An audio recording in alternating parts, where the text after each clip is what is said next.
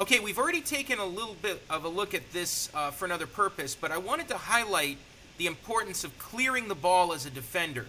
Remember, to clear the ball, what you want to do is to kick it hard and kick it to the outside of the field, okay? On defense, you're always working to the outside. Why? Because the attacking team wants the ball in the middle of the field. A lot more opportunities to score in the middle of the field than on the outside.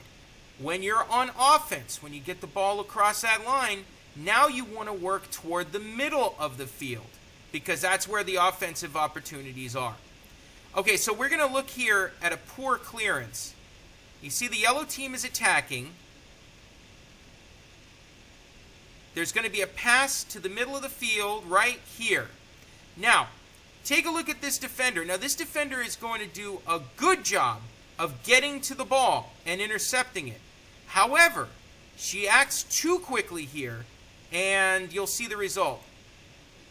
Okay, so there she goes. She stopped the ball, but rather than controlling the ball, stopping it and controlling it, you see she doesn't have anybody terribly close to her.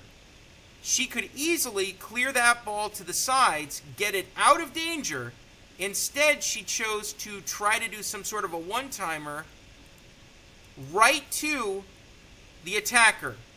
Middle of the field, right to the attacker, little control over the ball, and you can see disastrous results for the defending team.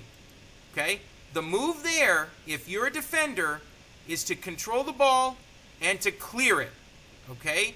You clear it by kicking it hard and kicking it to the sides of the field. Now, of course, you don't want to just kick it out of bounds. And midfielders, it is important for you to be available for the defender to kick the ball to.